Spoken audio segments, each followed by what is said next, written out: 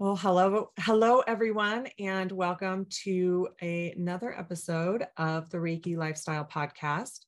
I'm here today with Danny. Danny Good morning, everybody. And her and I are actually leading this um, Q and A uh, today. Colleen is teaching, so we are at the helm today. Um, this episode of the podcast is our monthly Q and A. So we are actually live here with um, people that join us from all over the country and all over the world and ask their Reiki questions. Um, and so you can always join live if you would like. We have this at 9 a.m. Pacific um, on Wednesday mornings, like I said, once a month, where we, uh, you know, we actually have about 35 people that are here live with us um, this this time. Um, and so you're welcome to always join us if you have any Reiki questions. Um, we definitely keep it so that if you're not comfortable, you know, being on audio or being on um, camera, that you can come and still ask your Reiki questions um, so that um, you know so that if you're not comfortable like doing that you can still you can still be here and, and ask your questions. So we have all of those kind of technical things that we talk about before we start the recording with it. Um, so i just don't know if we've ever kind of really said that live danny where you know people may be like oh no but i don't want to be on camera or i don't want to be on audio um, because you know i feel a little bit shy about that or not comfortable for whatever reason that it may be um, so you can read more about that or learn more about that at our podcast page on ReikiLifestyle.com, um, where you sign up for the newsletter. Um, and um, we send you the Zoom link and just a little bit more about this episode of the podcast.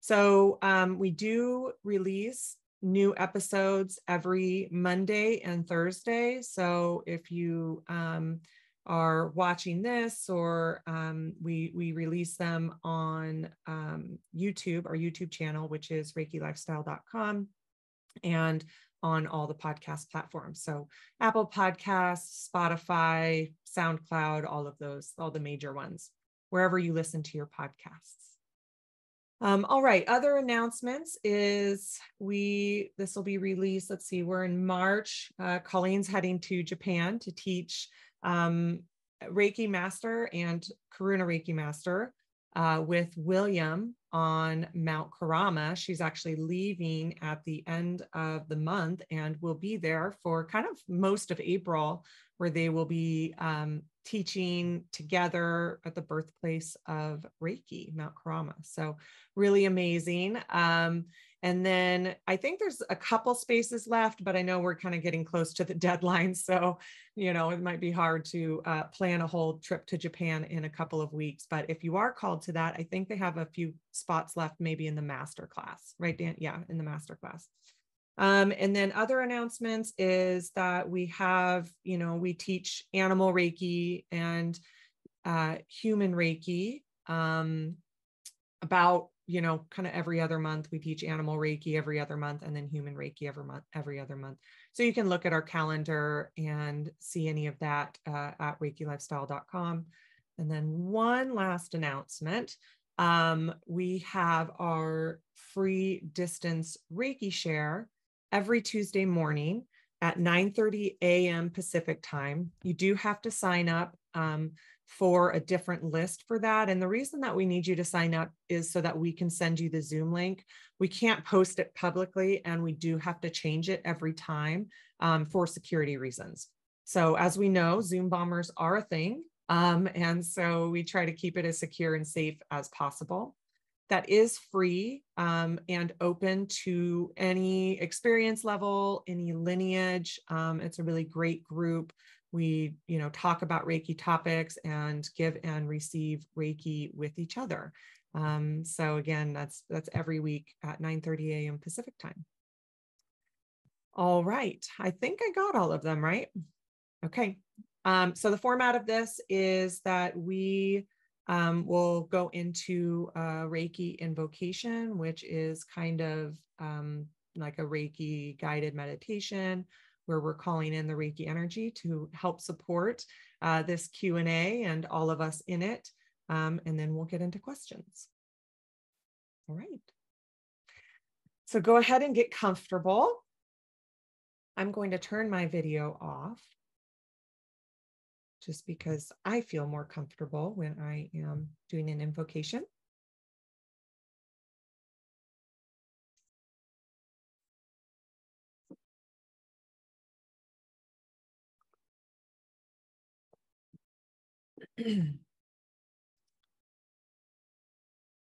Close your eyes. Take some deep breaths. Place your hands in Gassho, just two hands coming together at your heart. And activate Reiki in between your palms. The light of Reiki flowing through you, up through the bottoms of your feet, and down through the top of your head, and out through your hands. Any symbols that you may be attuned to, flowing through you now. Reiki on. Place your hands comfortably on your body and give yourself Reiki. The light of Reiki is surrounding you. And every breath that you take, the Reiki light flows into you. And on the out breath, you send anything that you're ready to let go of any busyness of your day, any place that your energy is scattered. Send it into the light of Reiki. It's to be carried from you and for you. And just allow this time to be for you. Bringing your energy close in around you and within you. Your feet on the ground so that you may feel more centered and grounded. The stability of the earth flowing up through the bottoms of your feet and filling your whole body, your whole being.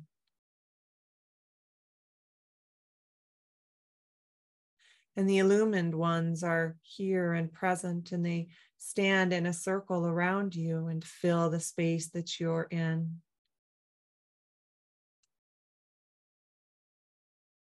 Any of the illumined ones that you work with, ascended masters, angels, the divine animal kingdom.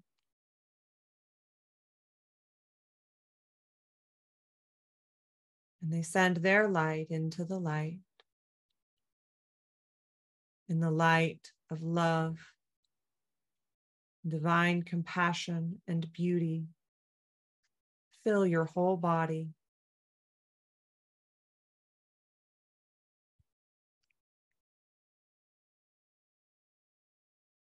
And anything that is not of that light,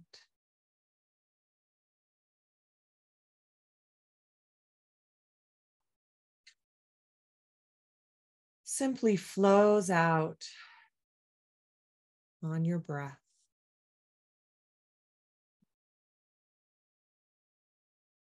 And your divine spirit, your wholeness, the pure love that is at the core of your being is revealed to you now.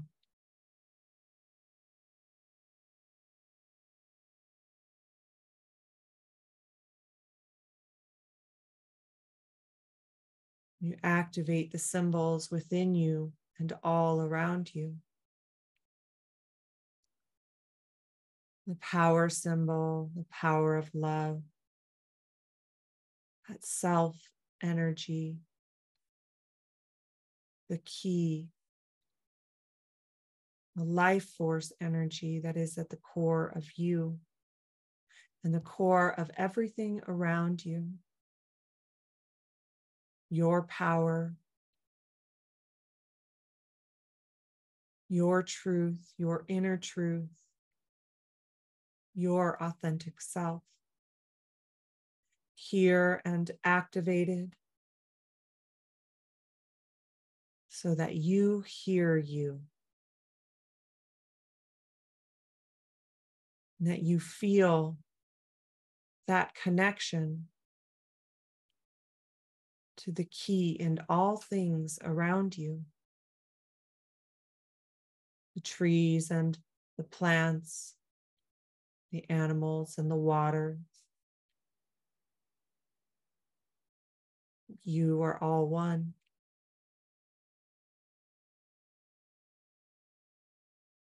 And the mental emotional symbol, the higher self, the power of the divine mind. that guru that is within you and within all of us. You hearing your higher self, your intuition, your instincts, and your insights here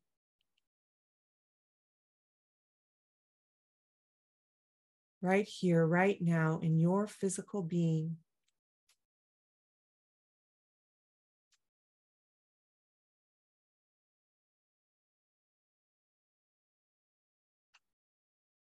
So that you may follow the path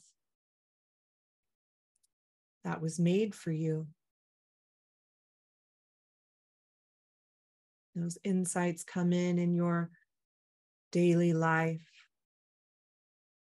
And it's all right here, right now, within you.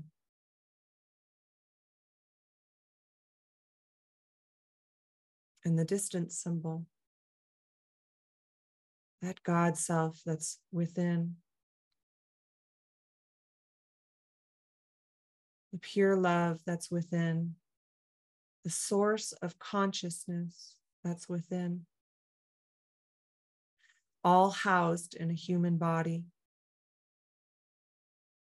The connection to the divine,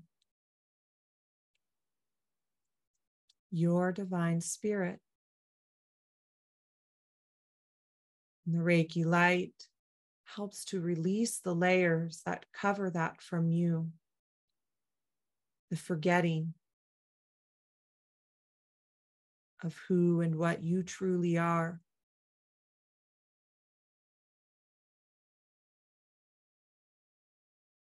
So that's activated within you, and you remember now. You are the universe.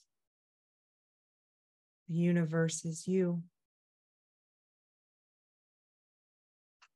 And it's all right here, right now, within.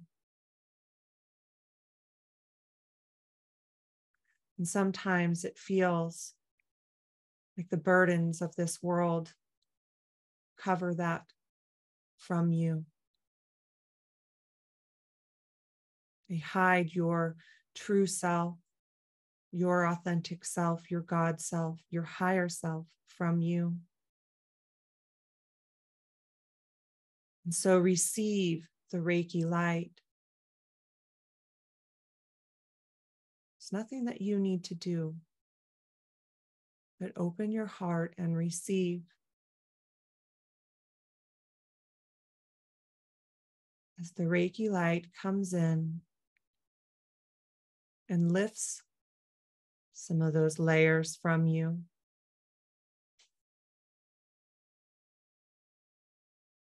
So that you can see you. You can see that light that's within.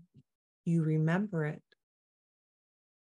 that light that is within.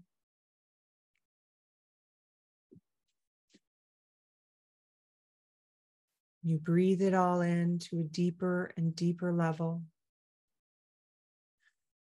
As the ways and worries of the world, this life's injuries, past life's injuries, ancestral history, culturally created beliefs, any cords or connectors. Reiki lifts all of those from you and for you. And it heals them and hears them.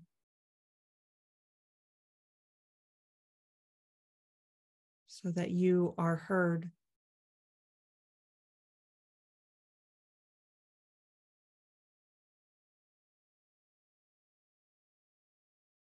Now the Reiki light pours into your heart. And it fills all the way down to your feet and out through your earth star. And through your hands and out through your hands into your body. And up through your crown. And up through your soul star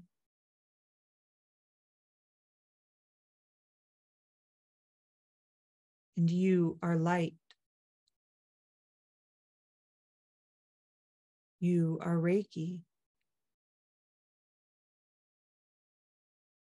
You feel the enlightened energy flowing and coursing through your whole being.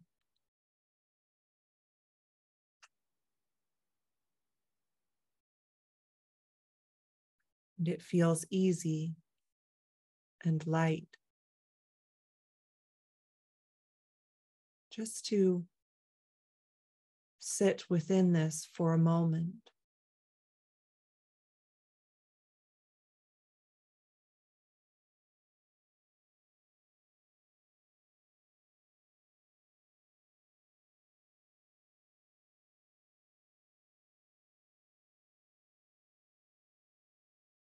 The energy of peace is here.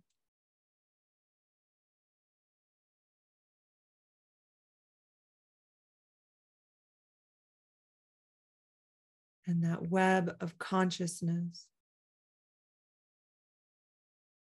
contributing to the high frequencies on the planet, anchoring the high frequencies on the planet just by healing you.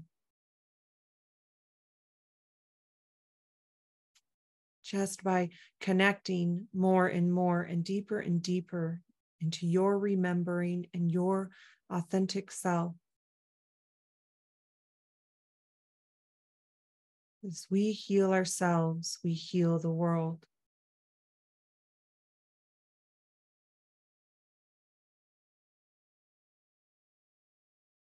And as we recognize that we are not alone, There is a community of light bringers. And today on World Peace Grid Meditation Day, it's more apparent than, uh, than ever that there are so many of us contributing and bringing the light and the higher frequencies onto the planet.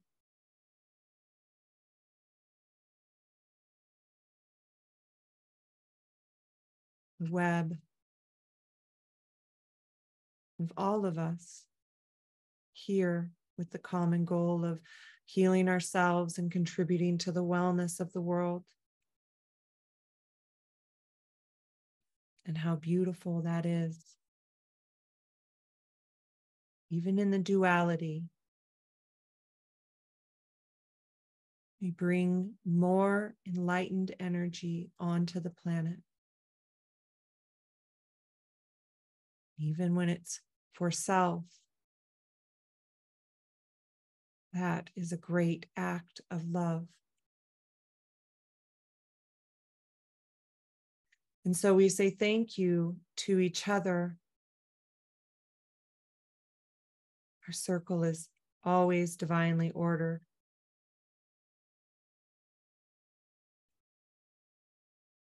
And whether you're here now or listening later, we are a part of that web, connected through light and beauty and love. And we say thank you to the teachers and to the ancestors who have come before us and brought us these ways, carried them down for generations. We're so grateful. Thank you. And we say thank you to the descendants and to the students for carrying these forward. We're honored to be in the lineage of light bringers, carrying the light on the planet, being the light on the planet, allowing the Reiki to manifest to an even greater degree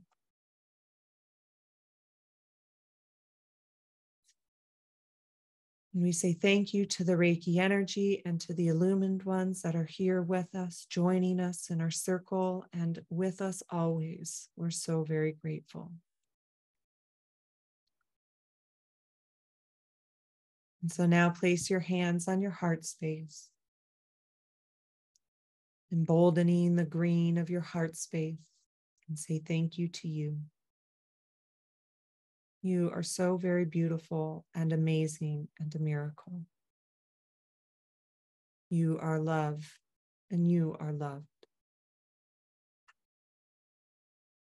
Thank you. And so it is.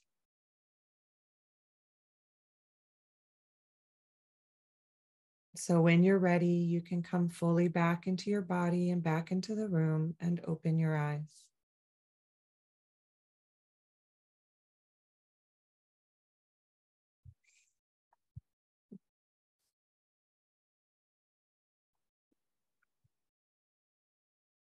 Okay.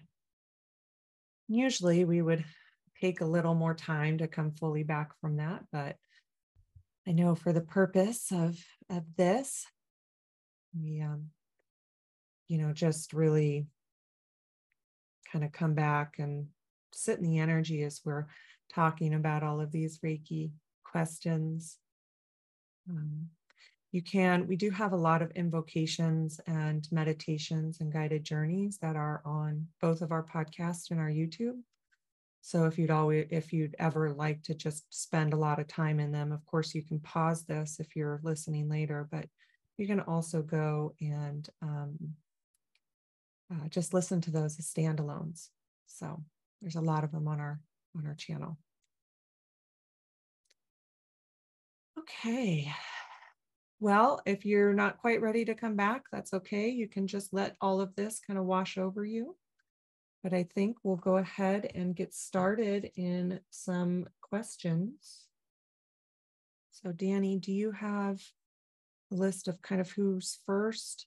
Okay. I do. I do. Let's see. Uh, number one. Um, Mary has a question. Okay. Is there a Reiki technique that is similar to shamanic dismemberment? Generally, the purpose is to let go of what holds us back. I'd like to incorporate Reiki into my dismemberments. You know, that's a good question. And I don't know if I, I mean, I know what dismemberment is in shamanic um, practices um, but I don't know if I'm trained well enough to be fully qualified to answer that question. Um, and so I think that would actually probably be a better question for Colleen um, because she's extensively trained in shamanic practice. That makes sense. And yeah. Kaz has a question. She'd like to talk about the um, peace grids. Great. Go ahead, Kaz.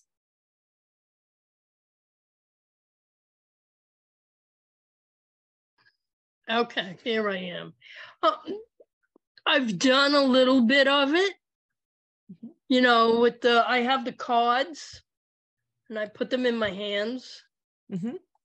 and I put a whole bunch of symbols in there and hang on to it and just sit with it. But um, It's it's the um the crystals. Do the do I need to do that with crystals also? Yeah. So, um, what Kaz is referring to um, is the Reiki World Peace Grids um, that were developed by William Rand. Um, and I mentioned it in the invocation. Today is the um, day that there is the Reiki World Peace Meditation.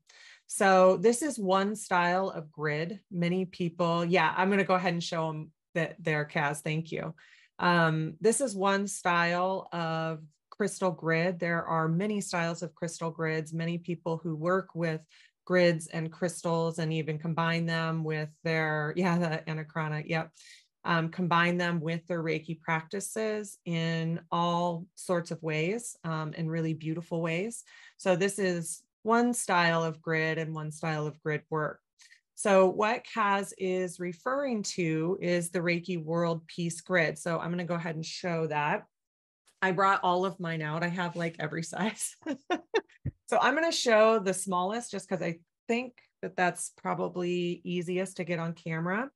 So this is just um, a postcard size of the grid um, that uh, Kaz is referring to. Um, and so this is actually um, a photo of one of the World Peace Grids. This is the North Pole one. So William Rand uh, many years ago had six um, peace grids made, um, made out of gold and all sorts of materials to help them to last. And he placed them around the world. Um, so he placed one in the North Pole the um, South Pole, Michigan, the Reiki Center in Michigan, um, Jerusalem, uh, in the old city of Jerusalem, in Hawaii, the Reiki Center in Hawaii, and then the last one was placed in on Mount Kurama in Japan. Actually, last year, um, during the kind of hundred year when we were doing the hundred year celebration, and uh, Lena Takahashi, who lives in Japan and um, is part of Healing Land Reiki. Her and Mooney Kai, who's also Healing Land Reiki, um, were helping with that 100 year ceremony. And so they placed the last one in the temples on Mount Kurama.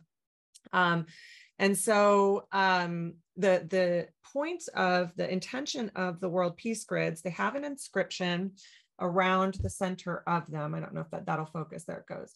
And the um, inscription says, may the followers of all religions and spiritual paths work together to create peace among all people on earth.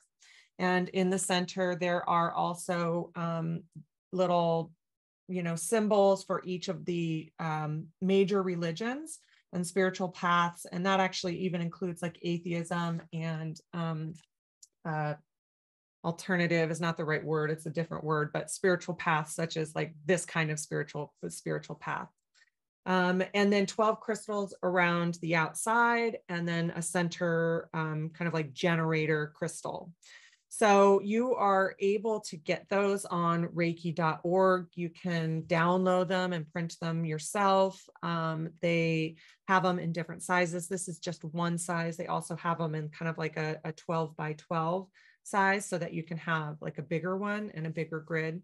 Um, and then place your own crystals around them um, if you feel called.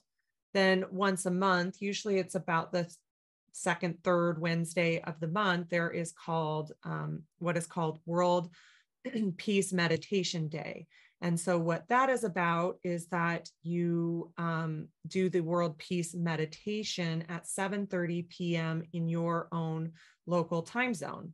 Um, and so you have, you know, everybody that's doing these meditations um, in their local time zone, that it's kind of this continuous uh, meditation, prayer, intention setting through Reiki that's contributing to world peace kind of continuously for like 24 hours. Um, and so um, that's kind of what, you know, one part of the grids the other thing though about the grids is you're you're taught like a specific um, thing in the Reiki master class about how to use this crystal grid, how to do grid work kind of in general, um, and that you can use this grid even just outside of that. So you can place, um, you know, in your intentions onto your grid. You can place healing, distance healing for other people so that your grid um, sends healing to others. Um, you know, there's a variety of ways that you can do that. Some people will just write, like, here's my intention, or here's the name of a person I'd like to send continuous Reiki to, um, and place their name or the intention on a little piece of paper and send it on, set it on your grid. Um, some people will get like little boxes to put in there as well. Other times you can just have the intention and send, like, okay, I'm going to send Reiki to Danny and I'm going to put that in my grid. And so it's, there's, um, you know, there's a lot around this. Um, again, you can very much use your intuition about how you use your grid. Um, what Kaz, Kaz's question specifically is about the crystals that you might have on your grid. Um, and so I'm, I was getting to it, Kaz, but I wanted to explain because not everybody knows what the World Peace Grid is and, and kind of what you're referring to. Um, so um, in the crystals around it, and she's asking, can she just give Reiki to her grid? Does she have to give Reiki to the crystals? Does she have to do both? You know, how does that work? So, as you well know, Kaz, Colleen and I's uh, style of Reiki is very much uh, Reiki your way. So, um, in you know, and somebody else might have a different thought around that, and that's okay. And also about what your intuition and your guidance is calling you to do with your grid, what you have access to. So, not everybody has crystals. Um, not everybody has the time to spend in a lot of meditation around it. Um, and sometimes that ebbs and flows as far as, um, you know, sometimes you do have a lot of time to spend in it. Other times you have to do what is called Reiki on the fly, where you are just kind of, all right, I'm sending my symbol over there, putting it, my grid is normally housed over there on my altar. Um, I'm sending Reiki into my grid and, um, you know, Reiki on, or you can stand over it and charge it. Or as you said, you can place it in between your hands and send Reiki to your grid.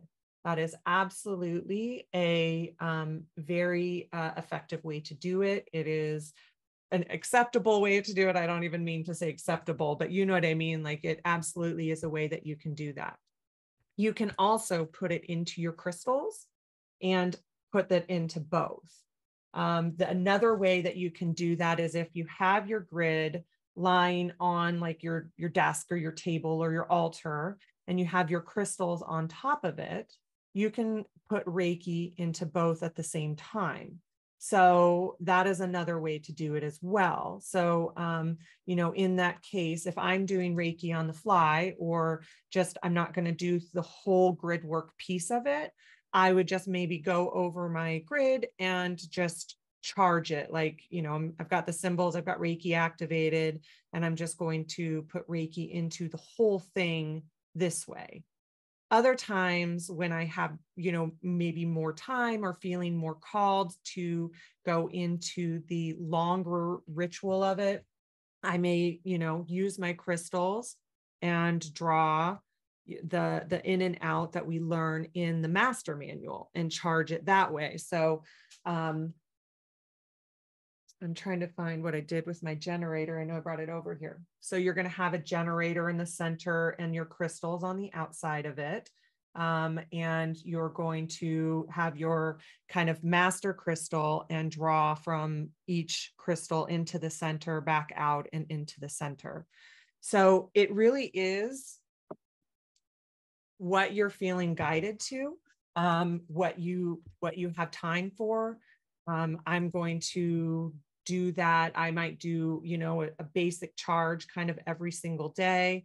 And then I'm going to have my rituals um, in a different way, you know, maybe like once a week or something like that. Um, so that's again, it's about your guidance. It's about being in relationship with your grids in the way that is right for you. and how Reiki works for you as well. Other people may have a different answer to that. Oh, I'm going to be within, I'm going to spend ritual in my grid every single day. And that's how I connect into it. And that's how I feel is the right way for me to um, spend time with my grid and place my intentions into my grid. Go ahead, Danny. Um, you have a question. Can two people in the same household share a grid, or is it better to have your own? Oh, good question. I again, I'm we're kind of like I'm kind of casual about the grid. So I think you absolutely can share a grid. I know for me personally, I probably would have my own grid in addition to that, um, just because I want my own intentions um, with it. And like, so, um, and I'm just like, oh, that's actually a really good idea. Like, we could have a family grid and then because um, i know my daughter would love to have a grid. I didn't even think of that before. That's a that's actually a really good idea. Have a family grid and then i'm gonna i'm gonna personally want my own grid as well um, just because i want to have my own practice with it like you know kind of autonomously from other people. But i don't think it's wrong to have a shared grid. Um, you know i think that that is if that's what you're called to then I think that's um, that's fantastic. Um, but for me personally, I'd probably have my own grid in addition to like a family grid or something, or a grid with Luna. So, but that's just a, a personal choice. It, it's not like a right or a wrong. Yeah. All right. Okay. Another question here. Um, from Candy, what questions do you ask before a Reiki session in the interview process? Yeah, good question. So um, before a Reiki session, um, you know, I always like to do an interview, and that's you know kind of what um, they're referring to as well.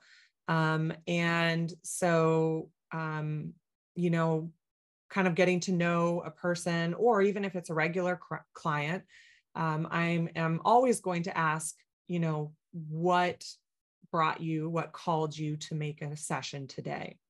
So the interview process is going to be um, shorter for some people, longer for others, and that's okay. Especially if you're meeting somebody for the first time, you know, sometimes they can even be a little nervous um, around having a session if it's their kind of first ever session. Um, but I always ask, you know, kind of what their intention is for the session. However, not everybody may know that languaging. Um, not everybody may, um, you know, kind of that may not kind of call, you know, bring it out of people. Um, you know, if you're pretty uh, experienced in Reiki or other um, spiritual modalities, asking somebody the intention um you know that's like a if somebody asked me the intention i'd be like oh yeah that's an easy thing for me to answer but if somebody is relatively new to it uh, the word intention um, may or may not be a comfortable word for them. So that's why anytime I have a new client, um, I am going to um, I'm going to kind of ask, oh, okay, so why were you called to make a session today? You know, what is going on for you? Um, what are you, um, you know, what are you going through that you are um, making, you know, that you were called to make a session? So that's the kind of first question that I ask people. And that sort of gets them started with things. Also, you have um, a client intake form for new clients. Some people use them for every single session. And sometimes, you know, with the one that is provided in Reiki, the healing touch, um, you can use that. And, you know, that can also ask that question. You can also make your own that people are, um, you know, putting down the reasons for making the session um, or add that question to it. But even if I were to do that, I still would ask that question like kind of the first thing that I ask. Then the other thing is, is that um, I'm going to ask, um, uh, I'm going to actually kind of hear questions based on what they say.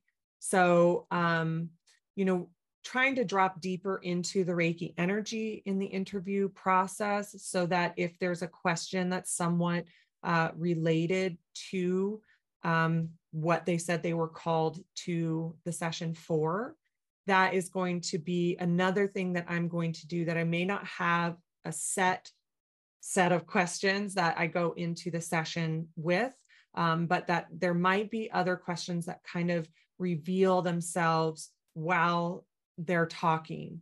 Um, I'm also generally, especially with new clients, um, they may or may not want to talk about deeper levels of you know what they're going through and that's okay too um, so if there is like a question that I'm like, hmm, you know, I don't know if this is appropriate. I will always say beforehand, you know, feel very comfortable if there's a question that you don't feel like answering, that that's absolutely um, okay. Again, I'm not going into like private details with people or something like that, but um, just always giving them the option and making that piece very, very comfortable for somebody that maybe um, doesn't want to uh, answer a question. And that's absolutely okay too. And then the other two questions that um, all of us ask, I think, Danny, you probably asked these questions too, um, is what do you want to let go of? And that's always a question, it, you know, even with regular clients, um, for 99% of the time, I'm going to ask them that question.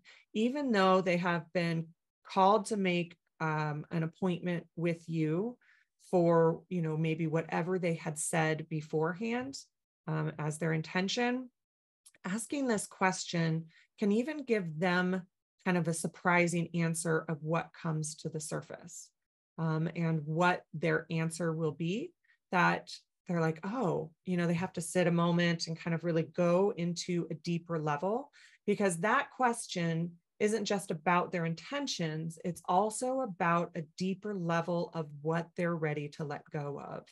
Um, and sometimes it can be directly related to the intention that they that they have other times it's a completely surprising answer even to them so that's a really really helpful question because it helps them like hear themselves at a deeper level that sets some of that intention and that energy for the session and in addition to that, I will always ask, what do you want to bring in? So um, that again is another one. Okay. Because with Reiki, what Reiki is always doing is that it is it's healing so it's letting go of the things that the person's ready to let go of and it's also bringing in so it's healing and it's bringing in simultaneously right so the session is always going to fill them up with Reiki energy, but that also heals things as well. It's letting go of things that um, maybe in the way of that filling up, that they are moving more into their authentic self and their empowered self. And so asking the question of what do you want to bring in as well um, it it also gets them kind of into that deeper level of um, that listening to them and that empowered self. Um, and so those are always the two questions. Usually, I'll go through the whole interview quest interview process, and then I will um, go uh, and then I'll ask those questions kind of towards the end of the interview. Also, um, when I'm guided to. So the questions also can vary from client to client. So that's the other thing to know that it's always nice to have kind of a template of questions um, that you may ask during the interview process, but then also being open to having a variation depending on the needs of the client. Also, the idea that to not be uncomfortable if the interview is short. So that's something that I know um, like I kind of had to work through of because some of the interviews can go a little bit longer. They give more information. Um, they're a little more receptive to the talking piece of it. And um, and so it feels kind of, oh, okay, this feels a little more comfortable. where sometimes you'll have clients that you know kind of only give you a couple of words um, and that that's okay. So i think that that's kind of where i had to do a little bit of um, work and and listening work on my part like active listening work on my part that i was okay and more comfortable if somebody didn't have a lot of words. And that i just trust that that's right, what's right for them um, and i trust that the reiki energy is going to do all the work that they need regardless if they have a lot of words to assign to it or not um, and um, yeah really trusting in the session and then the reiki energy regardless of kind of my experience of the interview. Um, so Danny, do you have any others that you would like to add? Any questions that you ask? Um, no, I, um, a lot of times I do an oracle card before the interview process with them. And so um, if they're into, into that, and so that sometimes if they don't really know a question to ask, I'll, I will pull an or, oracle card and it just brings up a subject. And so it's kind of fun it takes a little pressure off them if they're if they don't have a question or if they don't know what they want to release or bring in. So that's kind of a fun thing i do. Oh that's a great idea i love that. Yeah yeah and it can kind of open them up. I like that yeah and then also um, danny said in the chat that sometimes sessions the interview process and in the reverse to what I said about them not having a lot of words. Sometimes the interview process is almost the entire session. Um, and that is um, also a part of it and equally valid because sometimes what the Reiki is doing is hearing them. What, what they need the most is to say their words and to have somebody hear their words, to be heard. And that can be what is the most healing for them. So both things um, can happen. And so, Robyn, yeah. uh, I also uh, invite them. I have a, a box, uh, like a sandbox that you can draw what's manifesting in your body um, and what you would like to release uh, and where it's manifesting in their body. And sometimes I ask a color, a texture, um, sometimes a shape for them to kind of get a little bit more awareness around where is it physically manifesting for them in their body also. Well thanks lauren. Yeah great suggestions um, that that is uh, those are all options as well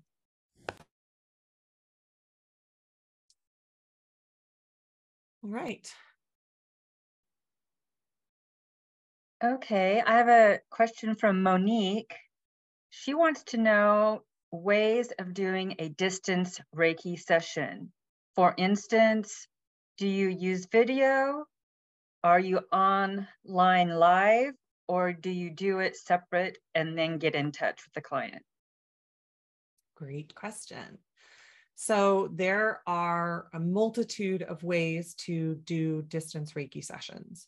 Um, so um, you can do all of the above, like you said. Everybody's going to have a different style in the way that you do distance sessions. So one of the things that's kind of happened is that when we when we used to talk about distance sessions, that would be more of the style of just like, okay, I'm going to do a session for you tomorrow um, at 4 p.m. And you might have a little bit of information about what, you know, they're wanting to work on. And um, they, you know, then again, yeah, you contact them after for anything, any impressions, or, you know, did they have any um, thing that they felt during the session? And um, you know there's not actually any communication during during the session. So that's still a very valid way to do a distance reiki session. Many people do their distance reiki sessions um, that way. Uh, however, with the rise of the commu- of communication options, um, sometimes when we're talking about distance Reiki sessions, um, or not sometimes, like how most so many of us now do distance Reiki sessions has changed dramatically. Um, so uh, you you can do obviously we've had the phone technology for a long time so many people for many years did um, a phone, you know, on the phone where you're talking to the client during the interview process. Um, you may or may not stay on um, audio during the actual Reiki portion. You might just or put yourself on mute, and then after the session is over, you know, you'd you'd unmute and talk about any different experiences that the that you both had. And so that was a common way to do a distance session for a long time. But then when FaceTime and now Zoom um, have become so much more accessible and um, everybody can kind of join, uh, most people, I should say, can join from their phone and actually see each other on video. Um, that has changed the nature of distance sessions. And also, it's changed since uh, many um, many things were written about it, right? So uh, in the manuals, um, in the manuals, like um, it might say that a distance session is kind of the traditional way where you're just at a certain time and then maybe you communicate after about impressions. Um, I, it might say in that that you can do it on the phone too in there. I'm not recalling right off the top of my head. Um, but now that you can do it on Zoom, like that is how I do all of my sessions. I know Colleen does um, a lot of her sessions still on the phone, just so that then people can be really comfortable and they don't have to be um, on on video at all. Um, for me and Danny too, right, Danny? We do ours on Zoom, so where we yeah. actually see each other. Yeah.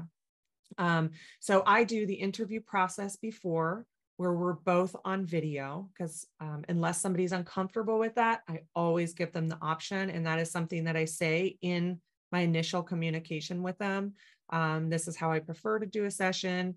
If you don't want to be on video that's okay too. I completely understand and it's very comfortable. Um, but i just prefer to kind of have that connection with somebody where we do get to spend that time on video together.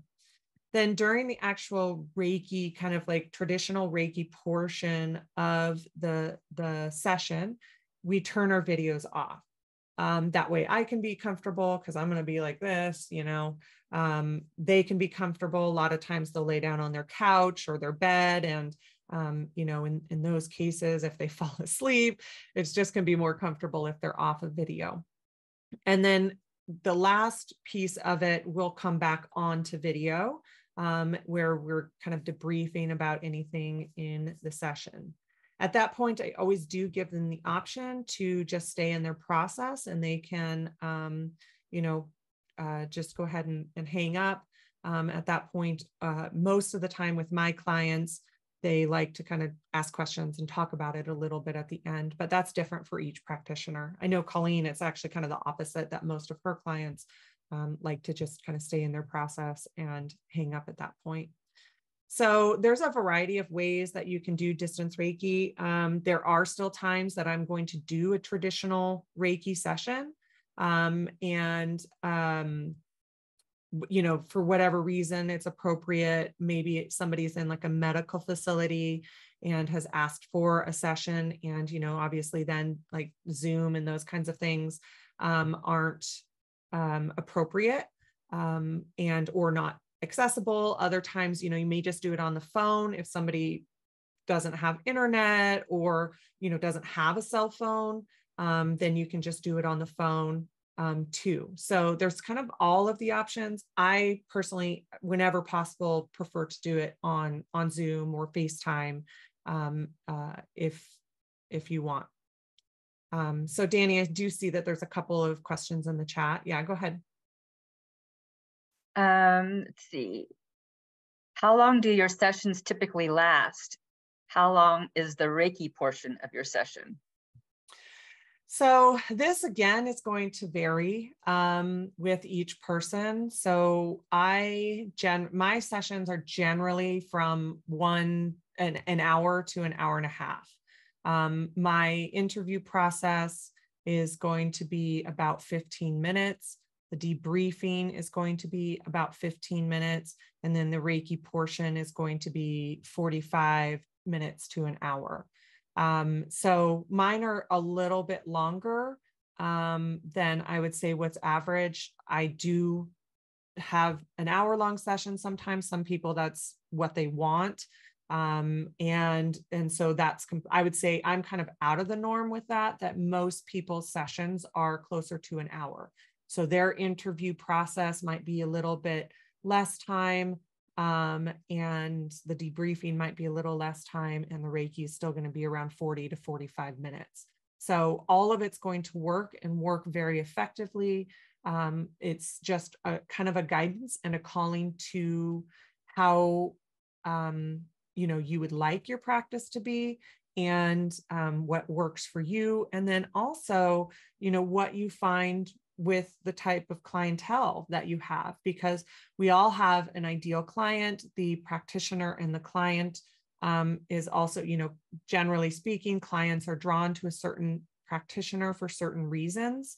Um, and for me i find that like i have a slightly different type of client than colleen has or even danny has. Um, and so it's also kind of what has guided me. Like when i've tried to fit it in the box of um, oh, okay, my sessions are only going to be an hour long, it just doesn't work for me.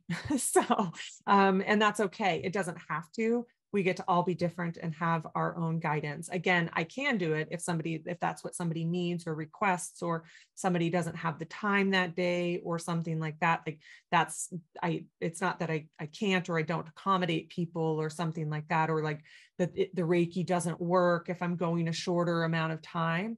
Um, but at the same time, I also just have followed my guidance that that is what I feel most comfortable with. and um, that that's what works for me as a practitioner. And i know that the clients that are guided to me that that's that's what's right for them as well. And that's been a process of listening for me. You know i i um because i know like danny your sessions are about an hour and i know colleen's sessions are about an hour. Um and so you know also considering that and listening to why and how their sessions are that amount of time um, but then also listening to my own guidance and the needs of my clients um, and um, uh, on, on kind of sticking what is appropriate for me and for them as as clients. And so that's kind of who comes to me are people that um, generally prefer that kind of length of time for uh, a session and Danny, go ahead and just unmute. You don't have to raise your hand. Oh, okay. I'm watching you. Oh, okay. Like, yeah, you want to unmute or just unmute. Um, okay. You need to. Um, I was just going to mention that um, for Colleen, um, she charges by the hour.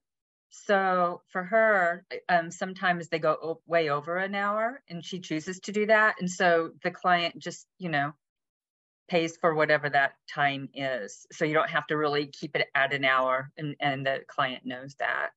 And then also we have a comment um, from someone here. Distance Reiki My Way is to create a container which runs for 24 hours after the completion of the formal session. I love that. Yeah, that's fantastic. Beautiful. Okay. Here. Yeah. Um, then there was another question about with the um, the session times that um, do you charge them if they uh, talk for most of the session? And uh, yeah, because that's the session. And I just trust that Reiki works the way that it's supposed to for them. I'm still during the interview process, I'm still using my surrogate. I've done my preparations beforehand. If you're listening on audio, I've got my uh, surrogate up in front of the camera. Um, if uh, I'm so I've done my preparations before the session. I've activated Reiki. I've done a little bit of self Reiki, and during the interview, um, I am sending them Reiki through my surrogate. I'm also doing that always during the whole session. Essentially, I'm I'm using my surrogate for it. So I know that if what they need the most is to be heard and use their words, that that is what is the highest good for them on that day and that I'm sending them Reiki through my surrogate and the Reiki is doing the work that they need. The other suggestion around that is that um, Colleen always starts with an invocation. So um, she's always going to start off with leading them through an invocation. And she notices a really big shift and difference in the kind of interview process for both of them. Um, so for her and for the client as well. Um, so that's just kind of like a little guided meditation. If that feels intimidating to you, you do not have to do that. Um, you can kind of just go through the the traditional, but it definitely can shift um, both you and the client. And um, then at that point, because she's definitely talked about how in her sessions too, that even with the invocation, people will talk for the whole session and that's what they needed during it right and that the reiki's still running and the reiki's still healing and also empowering and filling up um, but that's another thing if you notice that that's something that you want to add to your practice you can always do that um, it can be a short invocation just like even a quick you know fill with the light um, from your feet to your head from your head to your feet that kind of thing we also do have a free download on our website um, that is invocations and uh, guided meditations or prayers and invocations is what it's called. Um, and you're welcome to use those. It also has some steps on how to create your own invocation. You can read those out loud. You can adapt them however you need, take bits and pieces from each one, and you're welcome to use that with your clients too. So um, that's that's just another thought around around it. Um, and then you know just trust in the um, the fact that even if they are speaking through the whole thing, that the Reiki is still working, and that is the session. That's what they needed the most. Someone was asking how to um, prepare the 24 hour container um, after a session. Mm-hmm. Um, and she answered, It is spoken into existence using the distance symbols accordingly at the end of the session. Yeah, I was gonna say, oh, I see you unmuted, M. Intention. Yes, I'm I'm sorry. I um that's okay. A lot of the I do everything distance and a lot of the people need extra support. So we have a couple of really good distance symbols and whatever shows up in the session, that additional 24 hour container support. So what it looks like is at the very end, you know, Robyn, this container is set um, for the next 24 hours. And then I acknowledge the time. It's 13, 17 at the moment. So it will run for 24 hours. Please be kind to yourself by drinking lots of water um, to help with eliminations and release. And then, um, you know, if you have any questions or need additional support, please kindly feel free to contact me. Um, and sometimes there are some people that, you know, need the container reset. Um, and those people are often on my World Peace Reiki grid, of which I have multitudes um, and set up around in different places, some with crystals, some without, depend and the animal grids that um, that you guys gave me when I became an animal Reiki master. And those are are set up around um, for utilization. But those people need a lot of support. So mm. that additional 24 hour container gives them grace um, and as many of us here are givers and less likely to receive at times, it, it allows us permission to be kind to ourselves and to receive. Yeah. Thanks, Em. That's fantastic. Yeah. And somebody put in the chat um, that uh, their friends adds the phrase at the end, may this Reiki continue for as long as it's wanted or needed. So it's about intention. Yeah, that's great. Exactly. And that's and that's perfect because you can have a container go in perpetuity. Um, my Reiki grids, I work on them, whoever's on it or whatever it is, I work on it three times a day for 30 minutes each, uh, just to elevate it based on what I was taught when um, I was in uh, my Reiki master course with Colleen, um, and I believe you, and with Danny's support, the way you I was instructed, because 30 minutes is nothing in a 24 hour cycle, three 30 minutes. And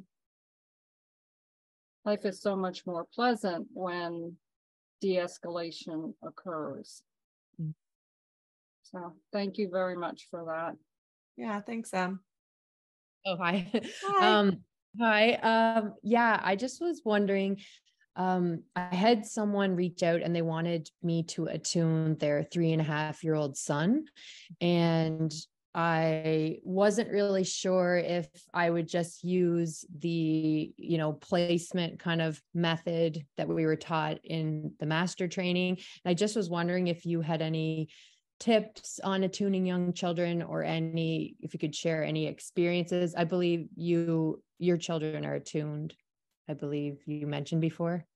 Um yes. So great question. Um there is a variety of um, uh, like kind of resources uh, about this ar- around you know all around we've written an article about it um, i'll go ahead and share where it's um, you know more of with a three year old it's a little bit different than what the article is written about because they were a little bit older um, so the attunement process of course is going to be very quick with a three year old because um, just frankly, they're not going to be able to sit still for a full attunement process. My daughter Luna was um, attuned in the womb, um, very um, uh, apparent and very guided to do that. Um, both Colleen and I, because I was reviewing a Karuna class with her when I was pregnant but I have kind of waited with her unless I was very, very uh, strongly guided to have, you know, that she would want an attunement or that it was appropriate to have an attunement to wait until she asked. Um, but that's not always how, um, you know, what the guidance is around the um, around the attunement, and that's okay. And I've heard many, many stories of people who have um, children who have been guided maybe they're kind of able to ask in a way um, maybe not but there's that strong guidance about about an attunement um, with luna yeah i wanted to wait until she was kind of able to ask for it and i've asked over the years you know do would you be interested in this? And then finally it was just actually not too long ago that she said she wanted to have her reiki attunements and she's six. Um, and um, and so with older children, because I see some people asking that in the chat, some of the older children would be able to go through kind of a more traditional attunement process, although you still would want to shorten it for them. Maybe um, some of the older, like, you know, and put in there about 11 and nine year olds um, that they might be able to sit through uh, kind of a you know maybe not a full attunement but that they might be able to sit through um, more like a kind of a longer attunement um, whereas you get the younger that you get you're going to need to kind of adapt that um, as much as possible for kind of for their age so um, you know how um, with the article that we wrote about it was really incorporating it into different ways that um, children play or different ways that you can do artwork. And so um, what we would do is um, is have them you know, place their hands in gassho. So with this style of attunement, it's going to be kind of the more placement style of attunement. Um, with the Usui attunement, um, you know, you could probably place that into a child in that way um, as well. At three, you know, I think it's always up to the parents, the family's guidance around around that. Um, but of course, a three-year-old isn't going to sit still. Um, there, so you're going to have to adapt it for their age. Danny just put in the chat the link to the article we wrote, Reiki Crafts for Kids. It's outside of just the attunement process, um, but it is also includes some of that within it. And um, if you're listening to this only um, or watching later, the link should be in the, the notes um, of the article, but you can also just go to reikilifestyle.com, go to our Reiki library, and there's going to be articles in there and different ideas that you can do for um, re- incorporating Reiki into the crafts for them. But if you're going to do a placement style of attunement, um, go ahead, Kate, or did you want me to finish? Unless you had like a No, you you go ahead, finish, and I'll Okay. just after. Yeah. So if you're going to do a Reiki style of attunement, um, you would have them place their hands in Gasho if possible. With three, it might be a little bit different. And just close their eyes and take a deep breath. You could go through some of the imagery with them um, where you are going to, you know, have them go to maybe a meadow with a three year old. It might be a little bit different um, and just have that intention that the Reiki light is coming um, into them and installing in their heart and out through their hands. And give them a little bit of time um, in silence with that and with that intention. And, um, you know, the Reiki is an intelligent energy.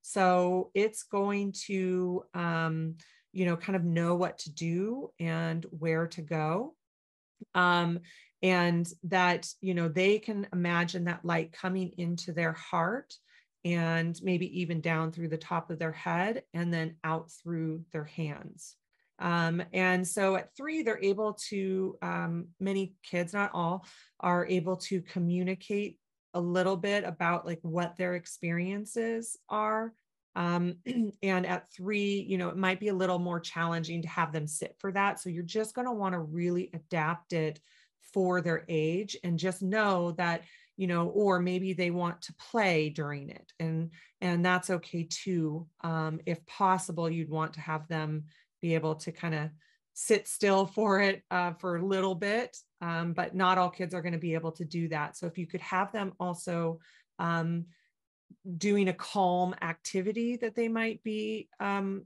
doing. I'm, I'm seeing like the large Duplo blo- blocks, like building the Duplo blocks as they're kind of imagining this um, and imagining the Reiki light coming out um, through their hands. When they start to get a little bit older, like I know with Luna at six, she would be able to kind of sit still and imagine this as she can place her hands kind of on her heart space um, and spend a little bit of time in the Reiki energy. And I'd be able to guide her. I'd be a condensed version of the guidance. Um, and um, I'd be able to guide her a little bit. And, and I know that she'd be able to sit for a few minutes at least and imagine that light kind of ign- igniting within her and coming out through her hands.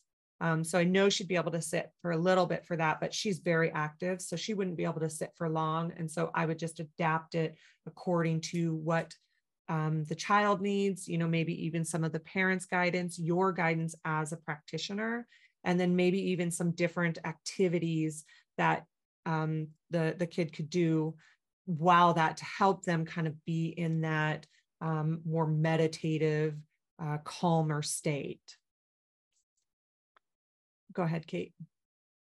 That's great. Thank you so much. I really, th- those are some great ideas. Um, the it's a client's son, and I've done Reiki for him several times, and he's nonverbal. He's diagnosed on the autism spectrum, and just gotten so much information that's come through about just even like children with autism and their kind of purpose on the planet for like raising the vibration. It's been really fascinating. And it was just coming through every session that it's going to benefit him to be attuned to Reiki and just for his own, you know, energetic hygiene and things like that. So the mom is really interested in having that done anyway. But I think Yeah. so. I haven't gotten the child isn't obviously asks he he isn't asking for it, but I feel like I've been receiving a lot of communication from him intuitively. And so, um, yeah, it's, it's just, she's really wanting it to happen.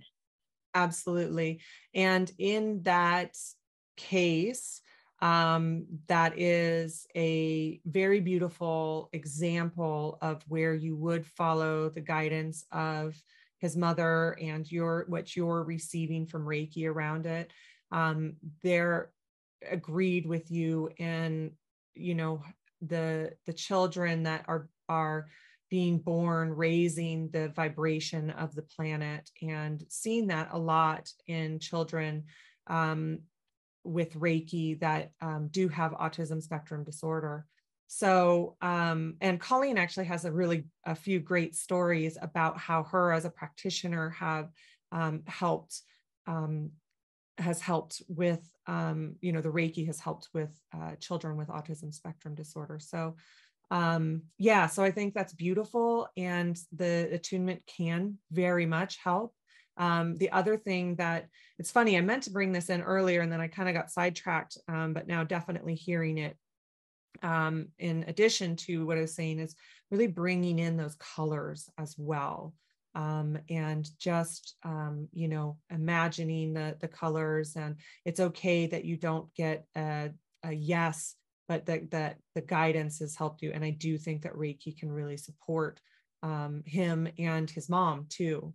Um, so i don't know if she's attuned or not but um, that you know even if she's not using it for any purpose other than just support for her and him that it can be really powerful yeah she wants she really wants to take my next course and anyway yeah she's very very interested in it so so mm-hmm. she'll be able to support him too and then he can kind of have that as well have some more control himself like feel like because i was getting that he feels i don't know that this is going to help him feel more in control you know navigating his everyday life having being attuned to this frequency. So, yeah. um, yeah. Anyway, thank you so much for all that amazing yeah. information. so welcome. Um, yeah, actually, and uh, I think so much of why the Reiki is so helpful because it's an energy that matches their energy, right? It's this frequency of energy that helps because they have a higher frequency energy that just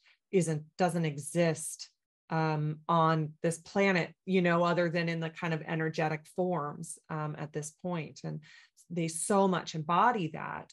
Um, and um, and so many people with uh, different neurodiversity, um, you know, different forms of neurodiversity. And so I think why the Reiki energy, you just kind of see over and over that it's so helpful because it's like, oh, this is a frequency here that matches mine um, and use it as a as a uh, a tool that can be so uh, helpful. So um, yeah, really great question about children. Uh, the other one I do want to mention is that um, Ricky Merrill Friedman is a Reiki master, and she wrote Reiki Kids. Um, and so it's a little uh, like manual slash kind of coloring book. There's opportunities for coloring. And, you know, I don't know if in your case that would be, um, you know, appropriate or not, if he, if he colors or not, but um, it just has more kind of ideas around it. She created a song around it that he might like to listen to um, in different ways and um, a Reiki buddy that comes with it. And so she's on Facebook. Um, and so you can kind of check her, her out and all about her Reiki kids um, information too. So yeah, just use also use your guidance on it, Kate. It sounds like, you know, you're pretty Reiki by Ricky. Thanks, Danny. Um, sounds like you're pretty experienced as well. And you're hearing the guidance of the Reiki energy. And every situation with children is a little bit different. And so, um, yeah, just following your guidance on it and listening to the Reiki energy, and it will it will show you how and um, the different tools and techniques to use around it too. Okay, thank you so much. And just one last thing. So it's not, it's, and I know like that the energy follows intention. Um, but so it's not going to be necessary that I use the exact wording from the placement. Like, as you were saying, you can have the intention that he is going to be attuned and you, and kind of use the wording that you gave earlier. Yeah, I would, I would um, cherry pick the, the wording from the the attunement it's not going to be possible to do the wording from the attunement from the placement because it's long you know? Right. so um, i would i would um, kind of maybe even use because that guided piece of it is not going to that's not going to that's just not going to work right? So um not that it's not going to work but it's going to be too long for um, you know, any three year old to sit through, unless you found that he's able to sit through like an hour long session which is possible for some children at that age, but not the majority of them, then maybe you could go through the full placement. Um, but if you know that he's not going to be able to do that, use kind of the words that are towards the end um, and maybe just right after that period of silence um, use those lines that are really that installing that igniting from the highest heavens of bringing the reiki down um, into your heart you know those those kind of words. The the rest of it while it's important is more about getting the student to that kind of very um, that uh, you know that place where they're really open to the energy because um, that's like you know kind of how your your the reiki is getting them deeper and deeper so that then they're they're really open to it. So just use kind of um, the the words and the intentions that are that I, I don't I don't mean ignited because that sounds like the ignition, but that are really installing that Reiki energy into them. Okay. If that, that makes does that make sense? Yeah, totally. I do. It's going to be it's long distance. They he doesn't live anywhere close to me, um, and I usually do the sessions fully remote during his nap time. Mm-hmm. Um, and but I guess you can't really do a placement. You'd I was assuming I was going to go live on Zoom with them to do the attunement, but I don't. You couldn't do an attunement when the person like fully remote, could you? The attunement fully remote, yeah, yeah, absolutely. Oh. That's what the entire um, oh, do you mean like without him on camera or yes. anything? Yeah, no camera. Because that's how I do all my sessions with him, and and I get such clear, like so much information that comes through, and he gives information to me to tell his mother because he's nonverbal, and so eh, he just gives a ton of information, and that's how I kind of communicate with him. And uh, so I, yeah, just just popped into my head now. I didn't even know if that would be possible to do like the full placement when he's napping fully remote.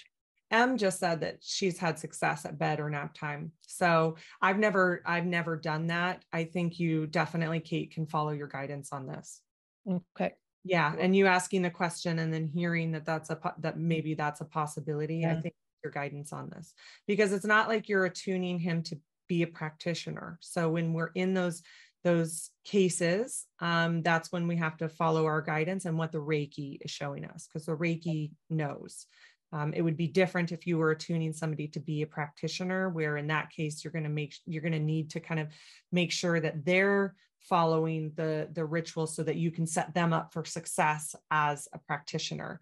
But I, for me personally, I think that the the Reiki energy is intelligent and really what the attunement is about is about getting us to it and it sounds like while you are in that space with him in, at bedtime um, that or during nap time that that's where you because you're communicating with his higher self um, and if that's the space that that is the most successful and effective then i would follow your guidance and the guidance of Reiki on that. And, you know, worst case scenario, if you get into that space and you're like, yeah, this just doesn't feel right, then you can go on to Zoom and do it with him kind of online. Okay. You know, that's great. That's been so helpful. Thank you so much. Yeah, you're so welcome. Great question. We did have a related question about this um, with, um, you know, doing it uh, like the whole class versus just an attunement. Um, I think that most children are not going to uh, be able to do a whole course unless they're older. So we had somebody in our animal Reiki class who I think was 10 or 11, and um, I think pretty sensitive and mature for their age, and they were able to go through the entire course. Um, but that I think that there's, you know, around those ages is where you're going to start to have them in a formal course. Um, but I think any younger, it would be an exception. I think it would be pretty hard to, to you know, sit through like a whole day, let alone two days. Um, so uh, that would be just in the case where you're going, I see you, Kaz, one second. Um, that would be the case where you're going to just do, you know, maybe some of the principles, some of the things like we uh, outlined in the article, where maybe you're doing art to explain the different concepts of it um, different things like that. Um, but that uh, you're going to have to shorten it by quite a bit and maybe just do an attunement and some of the explaining because it's just for them. So they're using the attunement for them. You're not training them to be practitioners at that age. You're training them to have Reiki for themselves. Um, and so at that point you know you might want to give them some of the basics but like with luna i wouldn't i would do the attunement I do some art to explain some of the concepts that might be helpful for her um, but i'm not going to she's not going to sit through a whole class so i'm not going to be doing that so um, i would just and then when she's older maybe she will go through a full class um, but not not at six so at that point it's just going to be the attunement and maybe it's going to be maybe a couple hour process go ahead cass You're you're talking about that little little girl who she was 13 and she had the little rat or something? yeah were you in that class Yes. Yeah. She sat on her sofa with the little thing in her in the cage. She did everything. Yeah, I She she was even did- a little younger than 13 i think she was like 11 Lev- Yeah, I'm I Yeah. mean like I know we've had, we've had a few that have gone through in those ages, but it's also not to expect kids at that age to be able to go through. Some would be able to, Yeah. others not, and that's okay. So you just have to kind of adapt it to each of what the kid is, what the kid, what e- uh, children are able to do by individuals and kind of appropriate for their age group. But like I don't, we'll we'll see if at 13 Luna would be able to sit through that. I don't know, or 11 if she'll be able to no, she because she's so she was having a good time. yeah she was she was it was amazing yeah so okay well danny are there any other pressing questions here Well, we have two that are kind of similar. Um, Jimmy asked, "How do you attune an animal?" And then Kelly said, asked, "Can my cat give me Reiki?" okay yeah good question so um, attuning animals are something that we learn in the reiki master course um, and actually we had this question that was emailed in too. That was a similar question about attuning an animal. So um, many people are um, have attuned their animals. So first of all there's many right ways to do this. Many reiki masters have felt the guidance from their animals that they want to be attuned to reiki um, that they um, they know that they want to be a reiki animal. So before this animal reiki energy came through and came out that um, they that was already happening many of us have experienced that that they're they're, they're a reiki animal um, so there's a lot of ways to attune an animal. Um, also, some animals will just sit through attunements and you are guided and you know that they are actually wanting the attunement. Other animals just like to be in the energy. So there is a level of discernment around it and a level of consent. So that's true for giving Reiki to animals always, and it's also true for giving them a um, an attunement making sure that we're not in the way of oh, oh i think either this is what you need or i think this is what you want. Really dropping into that reiki energy activating and listening and making sure that the animal actually wants an attunement. Um, so that's the first thing uh, to know um, and that the uh, jimmy i think jimmy took the master class um, the animal reiki master class. I think she's an animal reiki master. And that that is there is a process in there um, for giving attunements to animals that you can uh, just go and read. And there's even like a script on how to do it. Um, so there's that piece of it. But if you're not attuned or taking that class that's okay. You can absolutely attune your animals it's about following your guidance um, around it and um, you know listening to your animal around it and listening to the reiki energy maybe even having them sit through or not having them but ha- they sit through an attunement process in any different ways.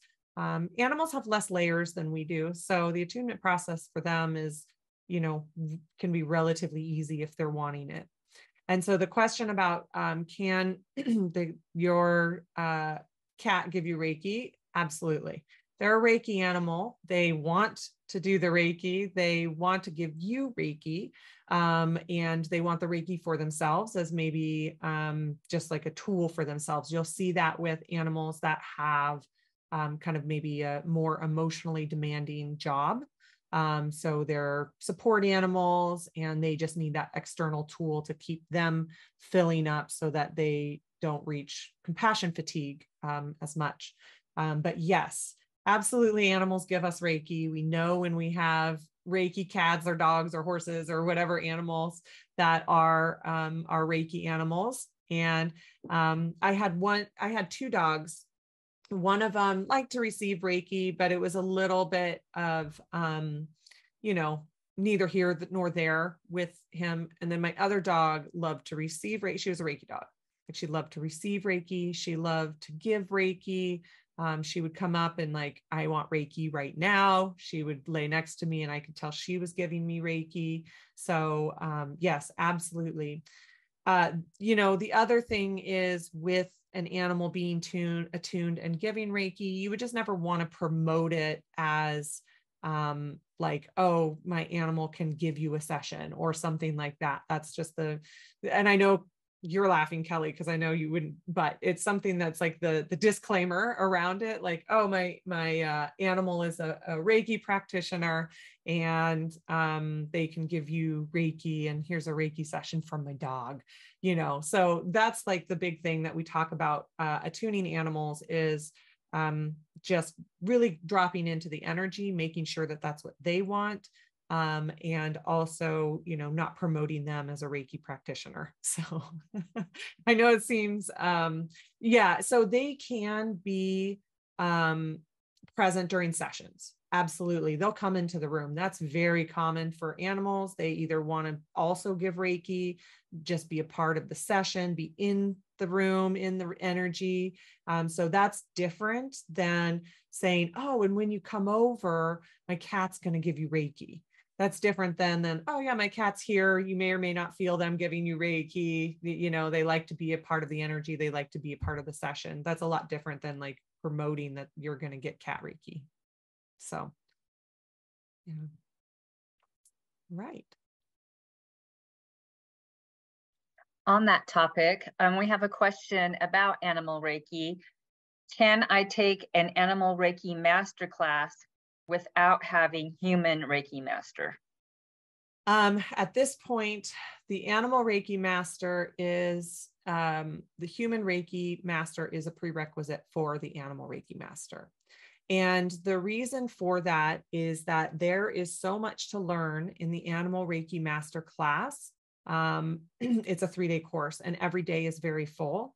So, um, without the uh, what's the word I'm looking for? Background's not exactly the right word, but without the background of a human Reiki master course, um, it would be too much to teach because you need that reference point um, for the animal Reiki uh, in general, because we talk about regular Reiki a lot and we talk about Reiki master uh, concepts and tools and techniques um, a lot um, in order to, um, and the symbols, yeah, uh, foundation. Thank you. That's the word that that's needed.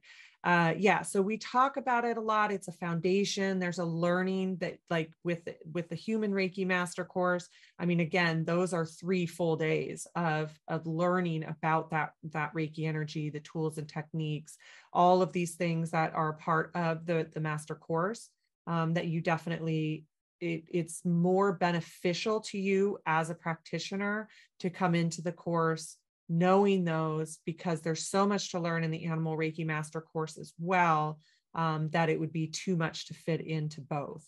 It'd be like a five day long course just for the master class. So you'd have to learn you'd have to have those foundations in order to um, to have that animal reiki um, there it just be would be too much. So so yeah that is why at this point um that it is a, a prerequisite for the Animal Reiki Master course. Um, and uh, yeah, thanks, Danny. There's no time requirement between any of the Animal Reiki courses. So if you're a Reiki Master, you can take the Animal Reiki Master even theoretically back to back. Um, and so um, uh, there's there's not like that six months or any in between the animal reiki that's just there's only time requirement is between human Reiki one and two and human Reiki master, there's a six month waiting period, but animal Reiki, there's not. So you can take them, you know, human Reiki one and two, and the next day you could do uh, animal Reiki one and two if you wanted. Um, suggestions of how transitioning from a small private Reiki practice into a larger public Reiki business space. Suggestions on how to transition smoothly and ways of asking the Reiki energy to help me with all these business decisions, like should I do a website first? Hmm. Yeah, this is a great a great question. Um, I would say first of all, I like how you said ways of asking the Reiki energy to help me with these business decisions. That is first guiding, ha- allowing it to guide guide you um, really, you know, going into your practices and Reiki on the fly for this. Um, the uh, mental emotional symbol is really great for these kinds of practical things um, that are very helpful. Having your intention set, sending Reiki to your intention set. I do like to use the distance symbol as well. So that kind of like my future self kind of comes back to me and helps me to make um, these decisions. I would say that um, the biggest thing with it is that even if you don't know where the end point is, just start. So um, you may not know all of the answers in the right now, you're not going to. But what you can do is you can just start and put one foot in front of the other. Um, so that's like one of the first um, piece of pieces of advice because if you try to like oh i've got to do this and this and this and this you could plan forever because there's always more to do. But if you just start then that is um that is like kind of your first step. And i know your question is more about like you've already started um and so but it's not any different for when you're trying to expand your business um, so that is like, I think, probably the best piece of advice.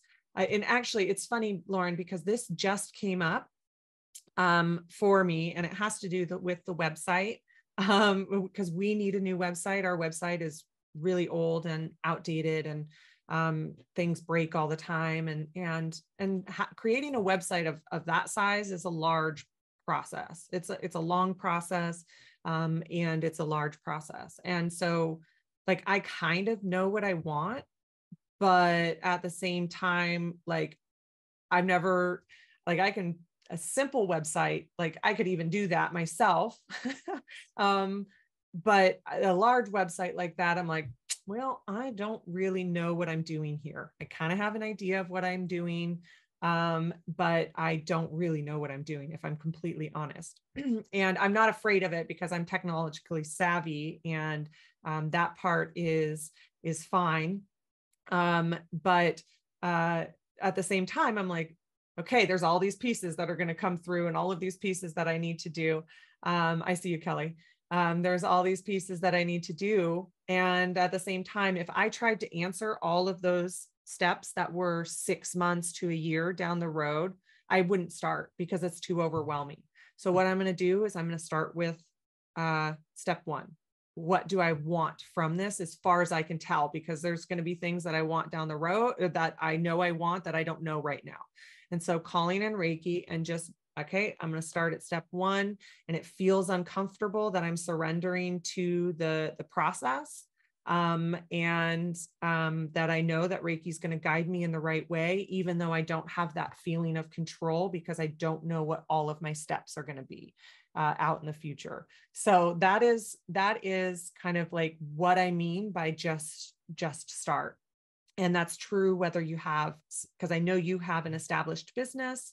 Um, and I know that it's not just about the website that you're asking, although that's an, a, you know, an example. It's about in general, like how are you expanding? So it's kind of the same idea um, because we have an established Reiki business, and yet there are things that come on line that we're like, I don't know. I don't know what the end result is going to be, but I'm going to just start and let the um the Reiki guide me. And I know I'm surrendering kind of to the process and just taking my steps one by one. So that's the first thing. Um, oh, okay. Thanks, Kelly. That's the first thing. Specifically around designing a website, I would say it's going to come down to how technologically savvy you are. So if that's an area that you struggle with, um, pay somebody. If it's not, then uh, Kelly put in her um, her thing, uh, Wix.com. So um, that's a that's a great site builder. And there's others that are out there. There's um, Squarespace. it's like so I get Square and Squarespace mixed up. I found that Wix GoDaddy. Sorry, GoDaddy. GoDaddy now, yeah. I found that Wix was slightly more user friendly than Squarespace, but that was just a, a, personal thing. That doesn't mean that it's going to be, um, you know, possible, uh, or that doesn't mean that that's true. So that's the that's the first thing with websites. If you're not technologically savvy at all, and you you do have a little bit of budget for it, I would try to find somebody that's within your budget to do it. You don't need much um, you just if you know you just need like basically kind of like a home page a contact page and you know maybe you're going to integrate like a scheduler within it like acuity or schedulicity or you know some of those so that people can book directly from your website. Um, and maybe something that integrates people signing up for classes. So um, so as far as like hiring somebody you're not going to need a ton of pages so you can you know hopefully stick within your budget. With that when it comes down to that you also have to balance because i know not everybody has that that budget. Um, but at the same time when you're talking about business sometimes you're losing money by not spending money. So sometimes you do have to you know make that decision invest in it because not having that thing is whether it's a website or other um, uh, that not having that thing is actually costing you money. So that's the first thing. The second thing is is that um, you can you know have a page on facebook that does relatively well. I know in your general your general question lauren i know you already have that and Facebook has a built-in scheduler, things like that. And I think you're asking how to go beyond that, like you're ready to kind of take the next step. For people that that haven't, um, you can start with a Facebook page, and that's relatively easy. It has a scheduler. You can even take payments through it now. All of that. So if building a website feels very like oh, I can't do that yet, start with Facebook. But for you, Lauren, I know for your specific business, um, that you are looking to kind of move into the next level. And yes, you do need a website to answer your question directly. Um, if you're going to have a business, people need to be able to find you easily. And if they're going to search on Google for you, um, a website's going to be something that comes up before your Facebook page comes up. Um, and so that is definitely you need you need a place where people can contact you there's a lot of great um, uh, possibility through Canva and some of the other online designers.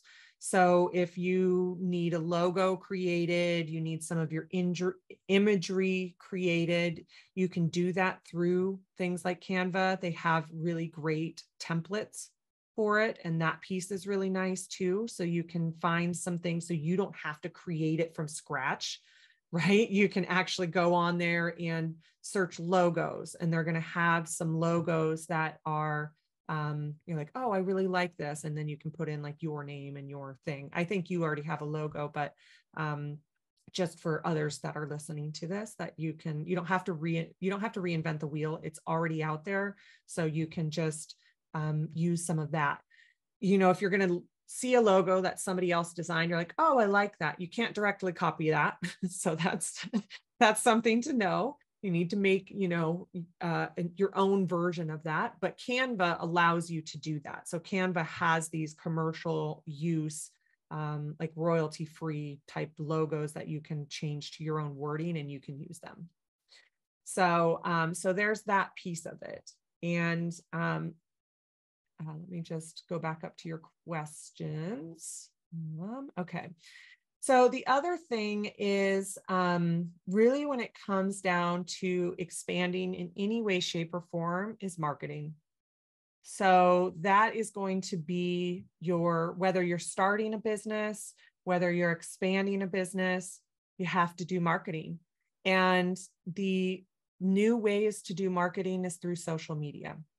As a, a marketing guy that I follow was saying, Instagram is the new website.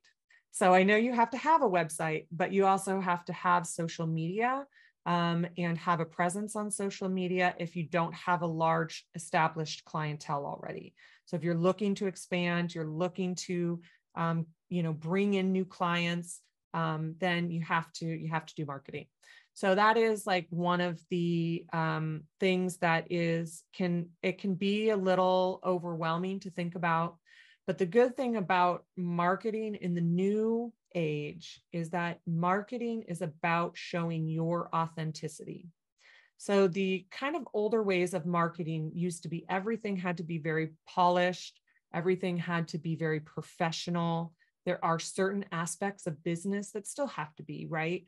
Um, you still have to um, you still have to have, you know, a professional looking website, those kinds of things. You have to have a a website, like those kinds of things. But it, it, when you're talking about people being drawn to you, they want to see your authenticity. They want to hear your heart message. They want to get to know you and feel like they know you. And I will th- say that this is um, this is something that is new in this day and age. And thank you to kind of the younger millennials and Gen Z for this one because they are shifting this dynamic. Um, and through social media, they are shifting this dynamic about none of it is about that polished, perfect thing. Um, unless you're that's like your brand, right?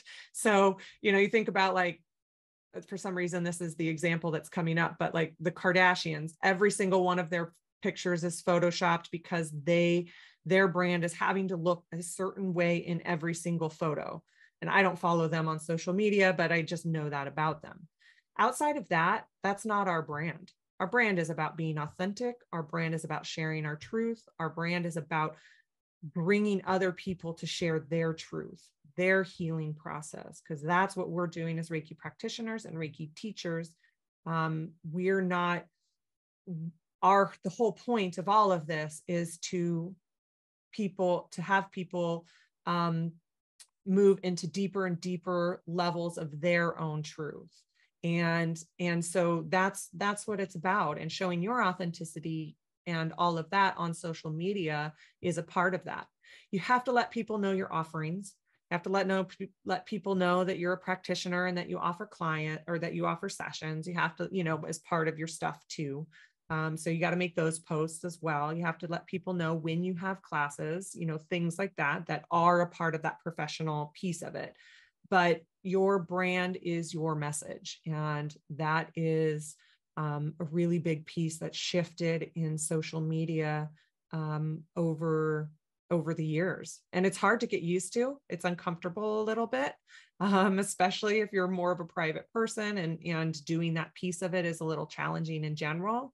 Um, so that is one of the things about it but it is one of the things that's also a huge relief that's shifting because I think sometimes the the thought of the amount of time of making everything super professional and polished and every single piece that we do it's like oh i don't know how to do that. Where do i start? That's uh, like you know it feels like um can feel really overwhelming. So you can have a mixture of them now. Also you get to stick to you. So maybe your brand is that it's very professional and very polished and that's okay too. So i don't want to discount that piece of it but it's also a relief for many of us that it's shifting that we just get to show our authenticity um, to the world. Yeah as danny said reiki your way. So yeah that's what i would say about the expansion is that it really comes down to marketing. Also you can do local marketing if that's more comfortable for you so if you're going to build a local audience um, doing presentations i know yoga studios um, doing presentations, different Reiki circles, Reiki shares, um, Reiki, you know, I know people are doing um, things at uh, health food stores, things like that. Um, that they're doing, uh, volunteering, as Danny said. So there's a lot of ways to also do local marketing. Again, that's also sharing you and sharing your authenticity and just starting. sometimes, you know, when you start a Reiki circle, just for example, you might have only one or two people that um, show up and that's okay just keep going and definite of per- definiteness of purpose over time is going to create results so you just stick to it you you see your end result my my end result is expansion. You set that intention with the reiki energy and continue to set that intention with the reiki energy and follow the footsteps follow your next step that lighted path that keeps showing up even if you don't know where that is going at the end. So is that are there any other questions around that Thank you, Robyn. That was really, really, really um, very, very helpful. Um, and um, the energy is really kind of guiding me. Um, like you said, if I'm not really tech savvy, actually, I do feel mm, actually very, very comfortable um, with the whole kind of Canva piece of it. Mm-hmm and you know doing that piece of it is something i actually really look forward to doing. So maybe the energy wants to use me to create my own website. And um, i could hear through what you were speaking that uh, a couple little nudges to go ahead and take the risk and go ahead and do that. And that might be a piece of the creating and co-creating that the reiki really wants me to actually be involved in yeah, I love that point too, Lauren, that you really enjoy the creating aspect of it and to spend time in that piece of it.